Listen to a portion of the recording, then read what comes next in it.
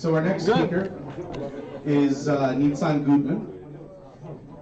He's uh, going to be talking to us about optimizing OpenSIPS cluster management using distributed backend systems based on RabbitMQ, Elastic, uh, Elasticsearch, and RabbitMQ based on Elastic. No, I'm sorry. no, no, no. And more. Great. Thank you. Thank you very much, Alex. All right. So, first of all, it's very exciting and. Cannot hear. Uh, one, one. Can you hear me? Now you can hear me. No. No? Okay, you try that. One, one. One, one. Now you can hear me? Yes. Yes? Yep. I'll just talk out loud, no worries. So it's very exciting to be here again. Uh, the OpenSIPS Summit is always an exciting place to meet other geeky guys that understand our language and joke, and uh, it's uh, really exciting to be here again and be part of this community. Um, the long headlines that you were. Uh, this? I will try to make it a, a funnier, better presentation than another boring microservice uh, uh, kind of look at how I build it kind of presentation. Uh, we will talk a little bit about uh, who we are, the evolution of topologies, um, kind of how to think of creating the best topology, and a little bit about the challenges when working with the microservice environments. So first of all, uh, VoiCenter, myself, uh, me and my ugly twin brother, Shlomi, uh, started the VoiCenter in Israel uh, a little bit more than 10 years ago. We're a licensed ISP, a little bit more than 100 employees. Uh, we develop a lot of real-time communication platforms, very concentrated on the, focused on contact centers and cloud contact center solutions. Um, we also work with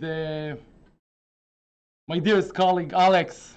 Yeah, yeah, yeah, the MC, Alex. I'm sorry, I didn't mean to not use your title. Uh, uh, together in operation in the States and uh, together with Giovanni from Open Telecom, providing a voice switch solution for uh, telco operators and organization, and it's a very pleasure uh, to be here with him. Uh, but myself, I got released from the engineer combat unit about 15 years ago from the IDF and joined my twin brother into starting this operation. Uh, we've been developing projects for organizations, governments, and entities worldwide for the last 15 years. Uh, very focused on open telecom, on open source tele uh, telephony, and uh, generally on open source. Uh, really big uh, contributors, and I'm very enthusiastic to support open source projects wherever they are. Um, so, a little bit about microservices. Um, we'll not do that again, relax. Okay, I'm sure you heard a few of those. Uh, but we are talking about the major problem of transferring from a system that is very monolithic, very one point of failure, one gear, one equipment that you just put in some kind of a data center and you pray it will work. And I guess about a decade and back, it always it used to be like that. Then you you you were able to do a monolithic uh, system, and that will be like a, a general uh, understanding that that's the way things work. Um, as a, maybe as a CEO, it's very good to see uh, that you bring me a, a box that does that stuff. Just give me one box. Don't get, get me too complicated. One system that does it all. But the more the more the years further uh, we go down the years and we need more advanced stuff, this monolithic uh, dream becomes a nightmare uh, because it's really hard to uh, um, fulfill the high availability and the flexibility needed when you're blocked into one equipment, one vendor, or one system without the ability to continuously develop your system. And I'm sure that the crowd in this room totally understands the importance of continuously developing. And I guess this is part of why you're here, other than the great Amsterdam atmosphere. And this is really uh, uh, one of the uh, biggest reasons to move from uh, monolithics to others. And the humanity has tried to solve it by trying to move to a, a layer-based solution. Um, I just got an idea for a good example about uh, uh, why layers not necessarily work. Uh, you know that we have a, a dual redundant elevator in the building. but then again, we're all stuck here on the fifth floor, cannot go down without elevators, even though there were two. Uh, and now we have, uh, uh, you know, um, I guess something left over from the DevOps environment, the uh, service elevator, that for emergency stuff we can move the pockets over there, but there's no real uh, uh, guarantee that we, it will really continuously working, even if you have two in high availability. Uh, so I can, you can guys fix the elevator now. I got the point now. Thank you guys. Thank you for the help. And when we move from layers to microservices, obviously, and then again, it's even more obvious in microservice. The less single points, the better. But then again, it's more complicated to maintain, to monitor, and that's exactly the challenges we'll progress and talk about. And where, where, the, where is uh, Mike of Rudy's? Is he here in the room? Yeah, you saw that? I got you a cat and dogs in the presentation. Good. I'm so excited.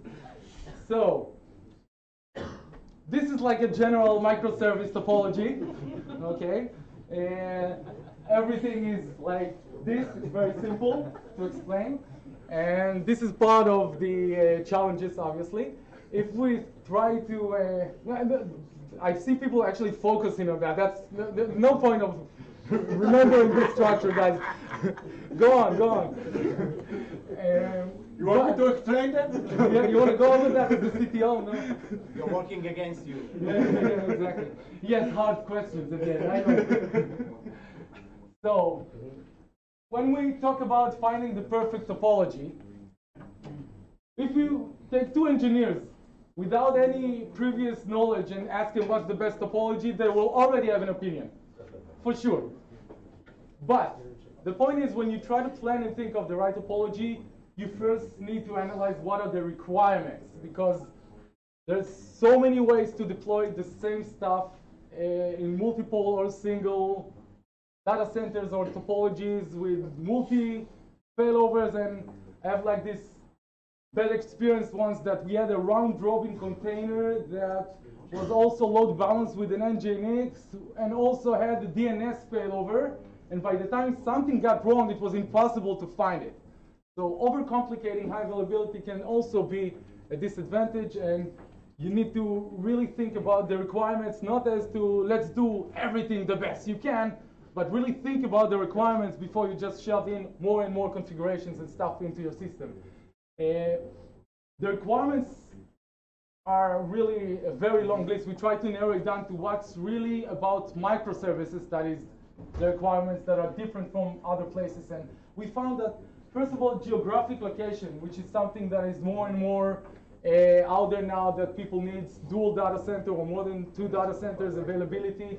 And we're all on it uh, with the OpenSIPS 2.4 Anycast uh, support and clustering support. And, uh, and this is a, a very important uh, uh, reason, uh, requirement that needs to be answered. We, of course, have the capacity how many calls or sessions this system needs to hold. Obviously, there's no point investing in high volumes when you need low volumes, but with more flexibility. Existing technology used. If you need to use uh, to integrate into a SS7 telco operator, or if you're stuck with an old GenBand in the network, or Nortel, or whatever you need to, God forbid, Nortel, to, to, to integrate, uh, then uh, it's really something you need to think of in advance because there are very specific limits into what these uh, technologies and existing uh, uh, gear is supporting. And generally interoperability, you go and usually no telco operator or a big organization is coming and purchasing his uh, telephony system or uh, whatever microsys- uh, microservice system uh, from scratch. It's always integrating into something that already exists and you need to make sure it's interoperable uh, operable with other stuff. And something that people sometimes forget, of course, is the budget. Because you can always overkill a project or a system with many demands and many requirements, but then you will not meet the budget needs, and that's of course part of the requirements. It's not always uh, just let's make it right.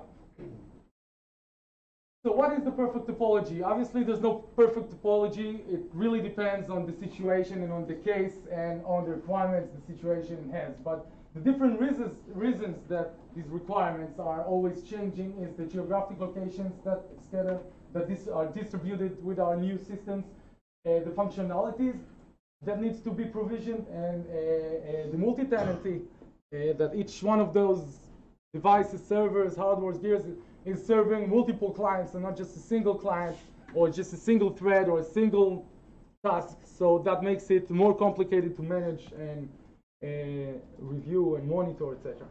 So the challenges I wanted to uh, uh, mention and show a little bit about the tools that we uh, used in order to overcome uh, are the observation. Okay, all the DevOps, the the creation, the continuously installation of servers, the uh, the monitoring of the systems, the integration of the systems to other uh, platforms, and of course, all the logging, which I'll discuss later with what we're doing with the RabbitMQ and the Elasticsearch. So, about the observation challenges. We obviously have uh, several of them, the network, the functionality, and scaling the resources as we go up and down as much as we need. About the network, so obviously the new solution we mentioned many times here last year and this year is the Anycast and the OpenSIPS clustering support. And this is something that I will respectfully, even, I even put your picture on, man. Okay, you, do you see it? You see it? Yeah, I see it. Very good. Tomorrow, that exact time, 3.30 after the... Uh, It doesn't make me feel very special. no? Ah, because I didn't put your picture on it? Now you're jealous? If I looked more like a cat, everything would be just fine. So definitely come to Alex uh, uh, speak tomorrow and hear all about it. Uh, but just in general, I'm not taking all the fun of it, out of it. Relax. But just in general, two main uh, reasons to use the Anycast. First, of course, is the high availability and uh, you know dual data center high availability. That even a data center goes down, the calls continue flawlessly and the end user do not feel it. Uh, not just a server, a whole data center. And the second one is more about the localization of the servers, getting them as close as possible to the end user to avoid any latency issues, and of course other packet loss and uh, uh, network issues that obviously as long as you're for, the further you go, uh, the more guaranteed you are to at some point to meet some network issues. So about uh, the provisioning challenge. This is something that uh, I believe you will, find interesting, that we, part of the need to provision parts of the system in a dynamic and in the right way is an example we did with the provisioning OpenSIPS to tell the FreeSwitch into which URL to address when he's doing his URL uh, uh, uh, requests. So we have actually, uh, we used it in our case study to have the distributed queues solution. So once we have a, a, call center queue with the uh, agents from around the globe, uh, what they call follow the sun feature, that you know wherever you are, uh, uh, uh, guys are will be there and be available. what we have is we use the OpenSIPS that is actually managing the state of all the agents, the calls and everything, in order to um, identify uh, the incoming call that is coming for that queue on which agent it should land, redirect. And if the agent is in the US, then the FreeSwitch already knows to communicate using the CURL model in front of the US data center and information system. And obviously, just the same way, if the call was meant to a European agent, uh, the call would have went to a European data center, and this is very uh, helpful with managing the network. It reduces uh, uh, latency issues and international networking issues that obviously are less stable than intercontinental uh, networking. And uh, this has been a, a huge step for us in making stuff more simple and operable and stable. And of course, you can find that on our uh, FreeSwitch uh, uh, repository for download if you want to use it. Um, One other thing that is really nice that I think that is nice to mention that we uh, managed to overcome the uh, um, the barrier that at a certain point uh, our servers were scaling up and the users were using more and more channels and we noticed that we need more servers in our system and uh, we found uh, we found uh, working with the with the Linux containers and Proxmox to be very reliable and very flexible to our demands.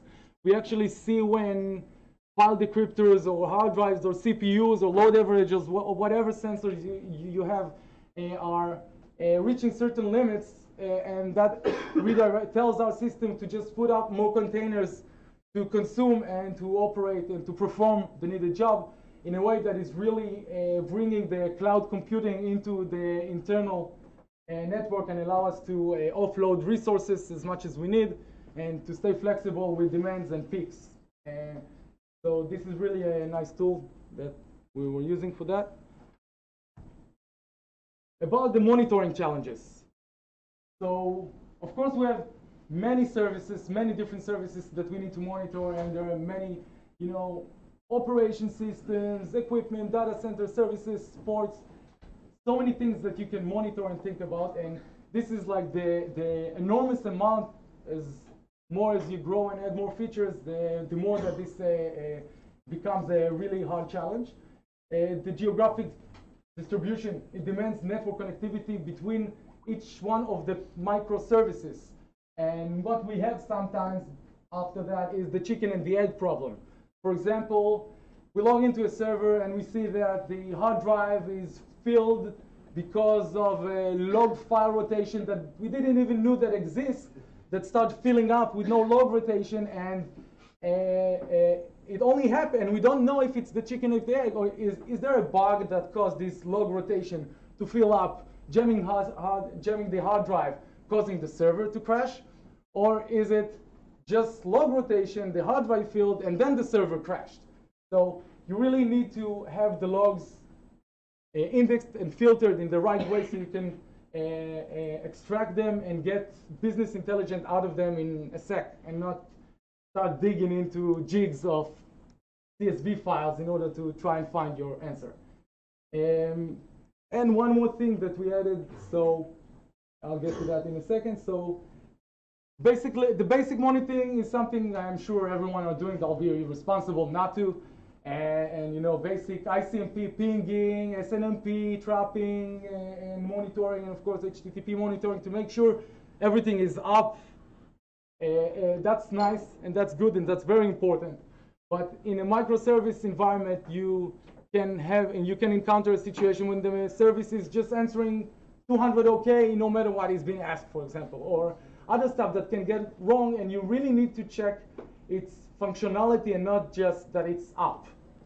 And so uh, uh, we use uh, uh functionality testing, uh, simple API testings. We check the response time, the latency and stuff, and the valid response.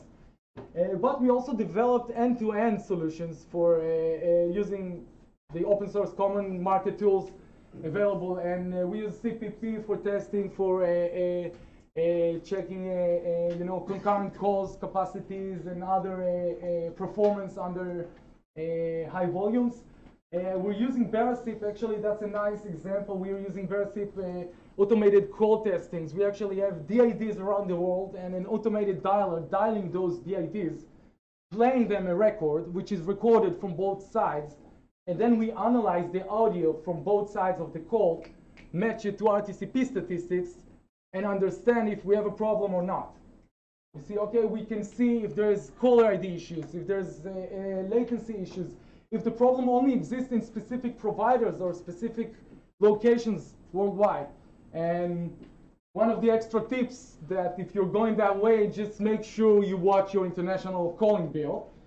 Uh, we got this system, you know, spending hundreds of dollars before we thought of a simple, stupid algorithm that examines how many calls we have to each one of those destinations and calculates the ratio of testing those like, uh, destinations by the amount of calls to make sure you test once an hour a destination where uh, you have millions of calls, but only test it once a day if you only have a few dozens of thousands of calls per day.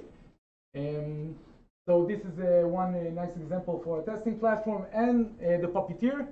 The Puppeteer is a great tool. It's usually used for UI testing and automation uh, when you build like a web interface and we're using it.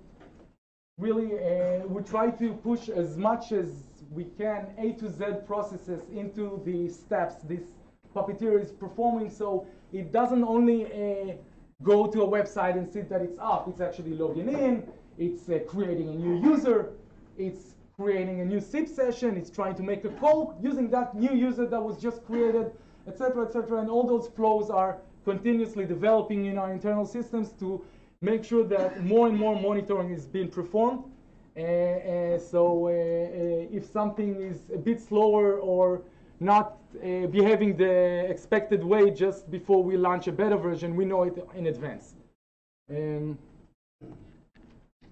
and that's a nice part that we added a few years ago. Shlomi wrote it, I believe. No, you, Razvan. Razvan, Razvan. Rewrote nine. Rewrote Ugly code.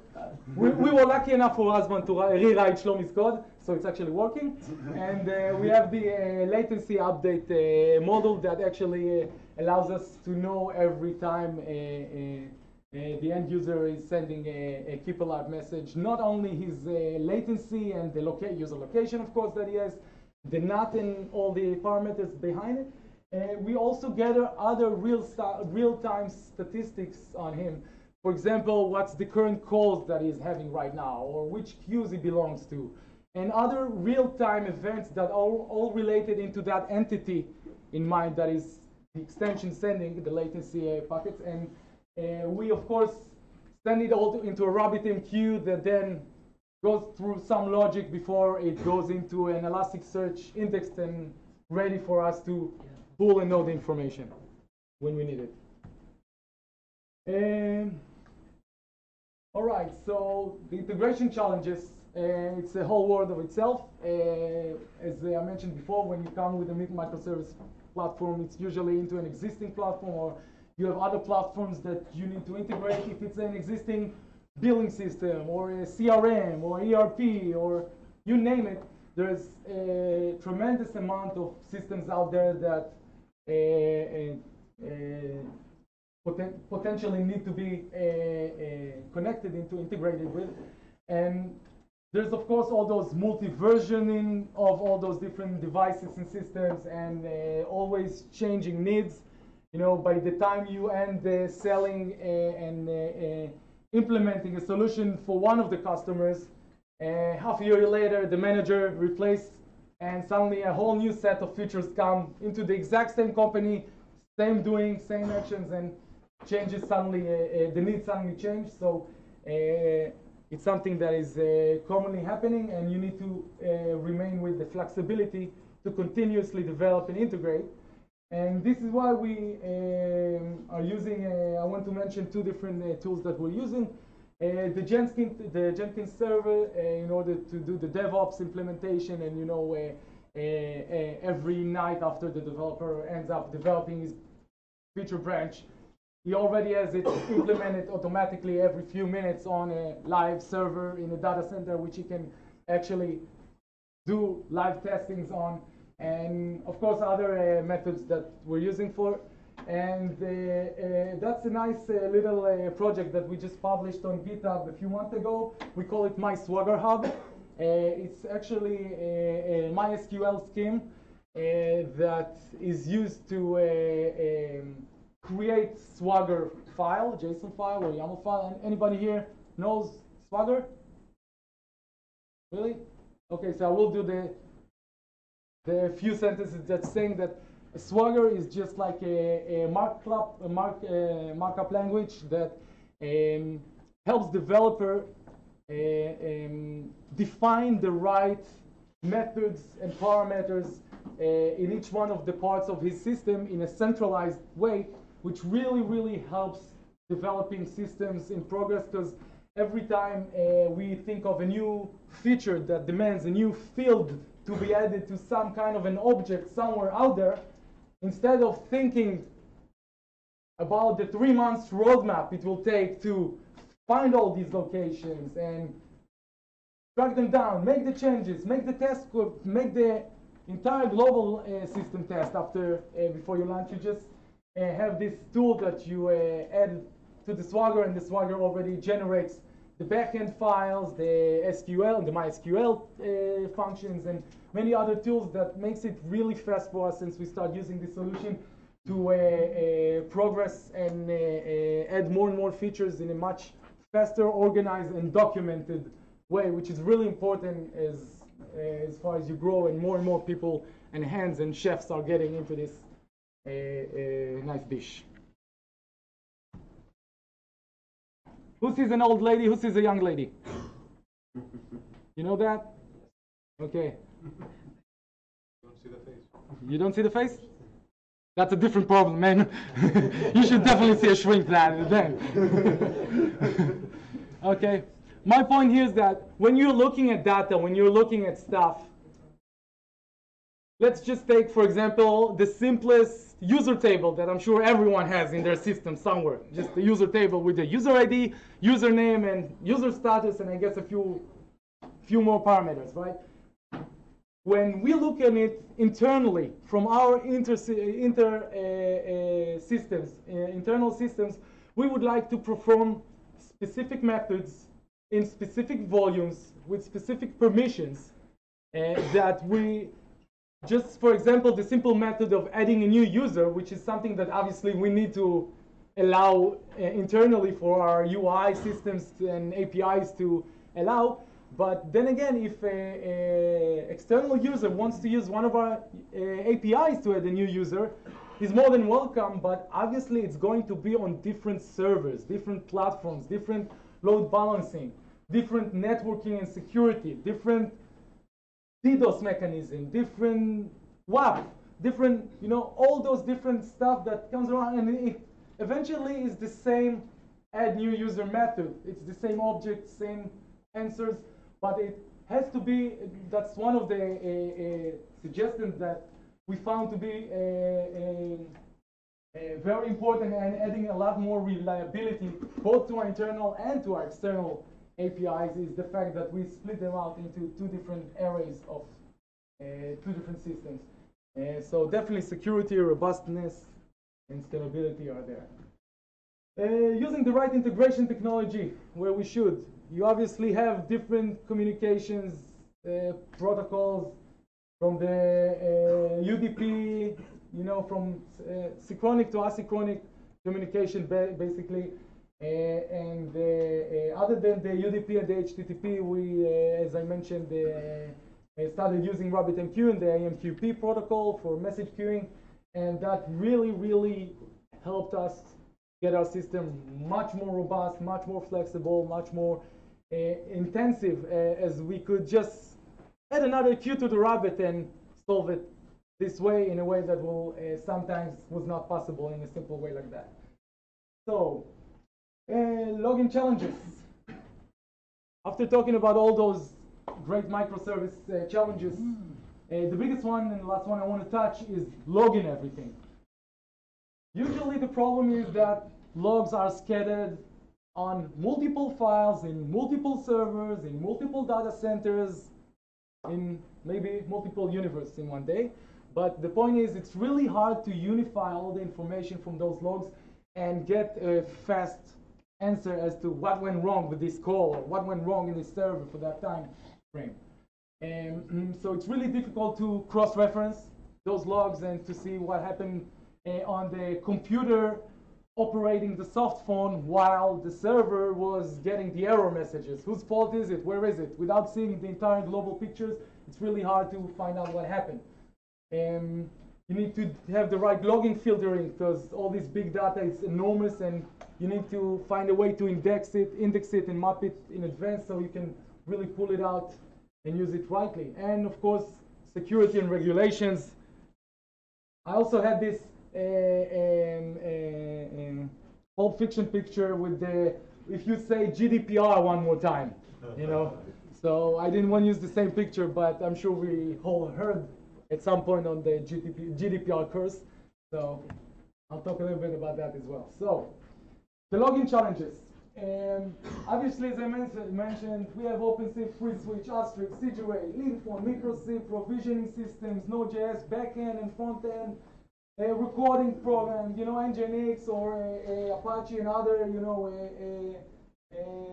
load balancers and UI and you know every action the the user is doing in the interface. And all the billing actions, the logs of the billing action, not the billing in themselves, but their logs. All the access lists granted and uh, uh, uh, disgranted. Of course, all the RTCP statistics and many, many, many other logs and active uh, uh, uh, actions that uh, events that are occurring in the system. And what we're doing is just, as you see, pushing everything to the rabbit, making sure each one has his own queue so you can pull it out and address it in the right way, in the right uh, uh, priority. And sometimes, just for example, when we use the RTCP statistics, uh, the RTCP packets, uh, which uh, I assume most of you know, but I'm just making sure, uh, it has all the latency, the packet loss, and all the uh, network performance statistics inside those packets uh, of every uh, uh, SIP call, of every uh, actually uh, uh, RTCP stream. So uh, those RTCP streams are actually uh, sets of a few seconds of UDP termination, uh, SDP, uh, like the SDP has uh, declared termination of UDP packets, and uh, you do not usually have it correlated with, for example, the country this stream is eventually destinated at. Okay, because the destination is part of the call of the CDR, it's not part of the stream. So we need, you need to, for that example, take all those RTCP statistics, put them on a Redis on the side, and as soon as you know the CDR and, and the full duration and the destination and the billing and all the other stuff, you can collect it all together and have one object that has everything inside it. Put it back in a different queue now because that's like a, a more sophisticated log object, and only then push it into an Elasticsearch already indexed by the account ID or by the server source IP or you name it, whatever you want, to easily extract it with everything together, not trying to assemble different kind of logs from different systems with different timestamps just to try and find out again what happened. Um, other than logging, of course, without logging, someone looking at those logs uh, uh, and actively doing something about it, it's pointless. And uh, what we used is uh, we actually there are, I did left the SMS and email here, but I must say that we are really, really satisfied, satisfied with the uh, Telegram application uh, uh, integrations that we've made. We actually made different groups of chats to different escalation groups in our company for different uh, uh, uh, decision makers and different responsibilities, including customers that wanted to be part of this group. We just created a new uh, group for the customers, so they are also exposed to the alerts and the notifications that are concerned to their uh, uh, gear and equipment and system. Um, so after uh, other than alerting and sending notifications, important notifications about it, it's really, really important, and I just mentioned it in a sentence before about the indexing and mapping of the information into the Elasticsearch or any big data. It's really, really important, and if anyone here has already de- dealt with Elasticsearch, I assume he already encountered uh, that mismapping or misindexing stuff can really uh, uh, get things slower as more and more data gathered into the system. And you know, uh, if you want to, if you want to index an IP variable, so index it as IP, so the system will be easier to search by and to search for IP ranges and other functions that are not good for text indexing or integer or float calculation. So uh, that's just one example out of many that uh, if you do want to index stuff by uh, IP range, you really need to have this IP in a, a IP, uh, IP type, data type. Uh, so it will be easier to aggregate the, data that you want in any way you want it. Um, of course, one of the powerful tools for monitoring and alerting is the active and passive actions that our system is taking. Uh, we configure different thresholds for different monitoring levels and logs. For example, if a certain extension exceeds uh, the amount of calls per second or the amount of money spent in the last hour, five, ten, day, week, or if the total account is exceeding, or if he's talking to abnormal, uh, abnormal uh, destinations he haven't spoken before, and so on and on and on, and all those algorithms that are there to identify any fraud or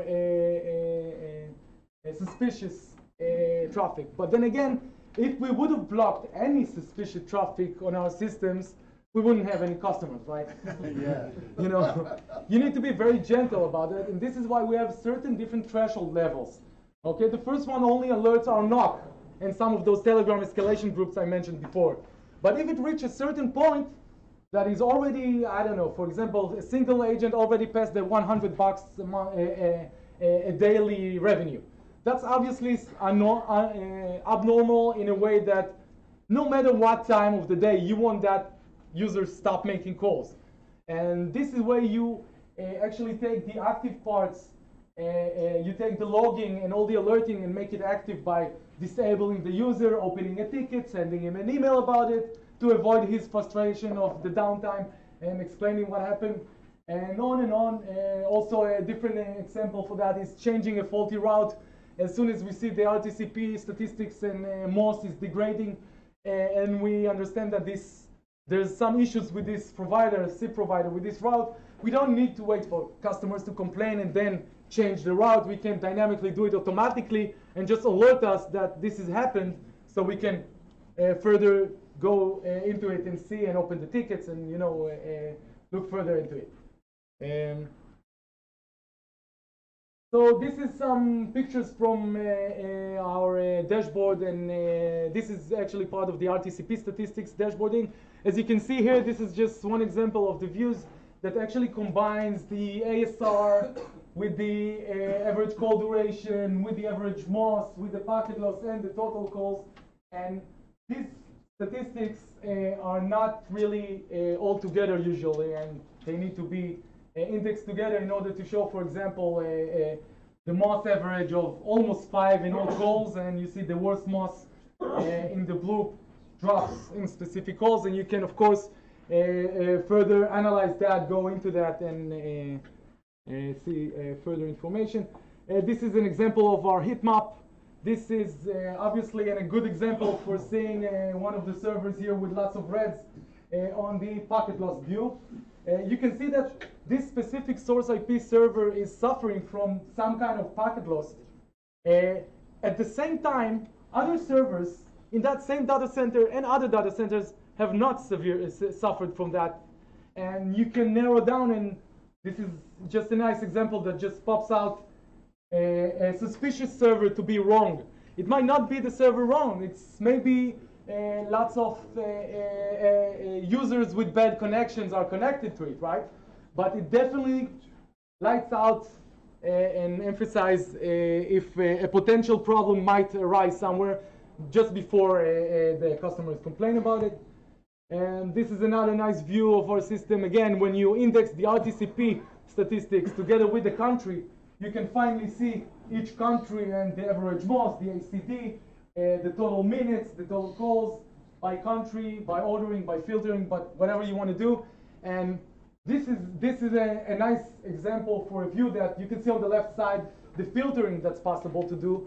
And then if you see that some statistics are uh, um, awkward and you want to further in- investigate, you can filter more and more uh, parameters and narrow down the problem into the specific uh, issue. Because you know sometimes troubleshooting voice issue, voice issues, it's this top to bottom, bottom to up, top to bottom. Okay, this customer is suffering. Any other customers have it? Oh, the other customers are having it. Wait, they are in the same data center or not? Wait, they are in the same data center or not? Okay, and this trying to narrow down the system is in we try to design a system that will just allow us to click our thoughts this way and narrow down and find the exact timeline of where it started and what's the real source of the problem uh, without opening a Wireshark, I promise. Okay. So after we log all this stuff uh, together um, and uh, we put it in uh, uh, uh, Elasticsearch, as I mentioned, we need to make sure that it's secured and we need to make sure it's departmentalized, which means that not every customer can view other customers' logs, right? Each customer's logs are, are part of the GDPR uh, uh, protection laws data that the logs are also part of the sensitive data. They have the phone numbers, might have user IDs and other stuff. And you really need to remember that when you're managing logs. Before the GDPR, we manage log rotation by the size of the hard drive, right? I mean, there's no point deleting logs. Right? Anyone here deleted logs not automatically, just for the fun? Making sure. Okay, I'm not the only one. Good. So we actually, I swear, we actually delete logs. Yeah, I admit. It's like a support group. And and uh, yeah, yeah. And uh, part of First it, of twelve steps, you know. yeah, yeah, yeah. Deleting, yeah, de- deleting logs, exactly. So, guys, I delete logs, and uh, uh, part of uh, uh, the need to departmentalize the information in the logs and to make sure they're only accessible to whoever uh, indeed has the permissions to do so, and only for the time is permitted to do so, and on and on and on, all those. We uh, are using a very nice, great solution that I highly recommend, the read-only REST, uh, which is a solution uh, uh, that allows you to use the Elasticsearch edition, but it also allows you, in case you're using Kibana, to departmentalize the indexes of the Elasticsearch and to allow different users logging in into the Kibana to only be allowed to expose to the indexes that, for example, contain their account ID in the pattern or any other tools that you can go very flexible with uh, that make sure that even if you want to give your customers the benefit of enjoying the Kibana and all these wonderful tools, uh, you don't need to uh, uh, compromise the security of the data and the logs of other of your customers. Uh, so the read-only REST is really a great uh, uh, tool for us, and uh, we're using it, uh, uh, of course, with the JWT, and you can just shove into the JWT payload anything you want, and then use it later on when searching and uh, indexing uh, on the Elastic. And yeah, this is me putting it black on white that I actually delete logs, I swear. And when you do need to delog this, uh, delete those logs, usually you do it by age. But I swear I had more than 20 different conversations only in the last year with different legal advisories from different departments of big law firms and each one of them has a different specific specification as to how we should delete the logs in order to comply with the GDPR. So we had people telling us delete all the call logs of calls more than 60 seconds, or delete all the calls of a specific data center, or of a specific DID number, etc. So you do not only delete the logs by the size of the hard drive, as I said before, you need to classify it. And if it's a more sensitive uh, information, you need to delete it earlier. And if it's not that critical, and then you rather leave it for more than a month or two, maybe a year or two. And by the content and the business rules, and again, as I said, per the client's sick legal advisor needs. You might get sued for that. Yeah, I'm not dealing with uh, any uh, legal advisories. Thank you very much for your time. I hope it wasn't too boring. And uh, enjoy Amsterdam.